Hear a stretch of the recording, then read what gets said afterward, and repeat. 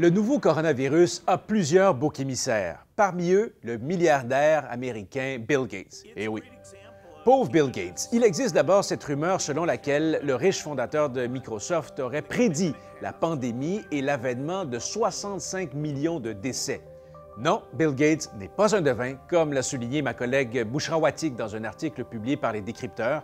Cette croyance vient d'une simulation réalisée en octobre 2019 par l'École de santé publique de l'Université Johns Hopkins. Lors de cet événement, intitulé Event 201, des experts ont pris part à un exercice de modélisation d'une pandémie fictive de coronavirus.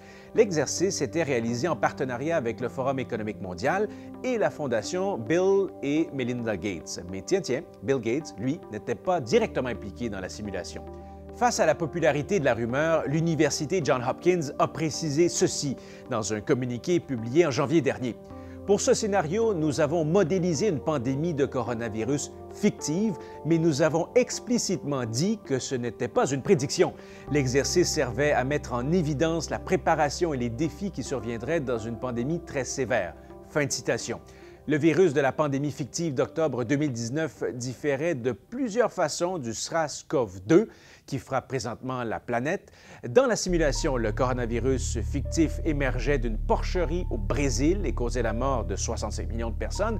L'Université Johns Hopkins souligne que ça ne prédit d'aucune façon que la COVID-19 fera 65 millions de victimes.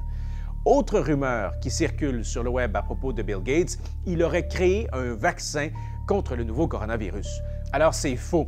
Oui, la Fondation Gates finance le développement de nouveaux vaccins à travers le monde, mais, mais, je le rappelle, aucun vaccin sur le coronavirus, sur le nouveau coronavirus, n'est sur le point d'être prêt. Les experts estiment qu'il faudra entre 12 et 18 mois avant qu'un vaccin pour le SRAS-CoV-2 ne soit disponible. Notez-le bien. Sur Bill Gates et ses folles rumeurs, vous trouverez de plus amples détails dans l'article signé Bouchra Watik disponible sur notre site Web. Rappel important, continuez à communiquer avec nous à travers notre courriel et notre groupe Facebook. Salut!